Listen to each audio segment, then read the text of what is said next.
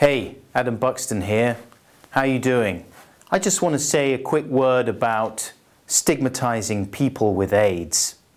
Now, I know there's a lot of kids out there who think that it's cool to stigmatize people with AIDS, to make their already difficult lives even harder by laying a load of stigma on them.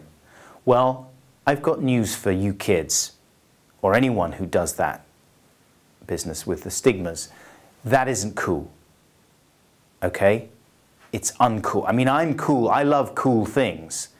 And, it, you know, if it was cool to do that, to stigmatize people with AIDS, then um, I'd be, well, I wouldn't be tempted actually. I wouldn't, I wouldn't do it, but it, that's moot because it isn't cool to do that, all right? So there's no way I'm doing it. And if you do do that, then you are, and I'm sorry to use this word because this was supposed to be a fun video, but you are a wally. All right? And I don't, I'm anti wally. And so are Waverley Care. In fact, they are waging war against wallies because the world doesn't need more wallies, right?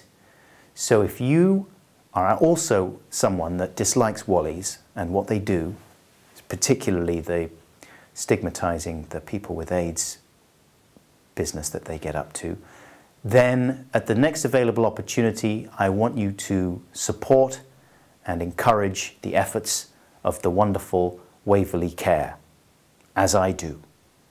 Cheers. This is a, that's a good ending.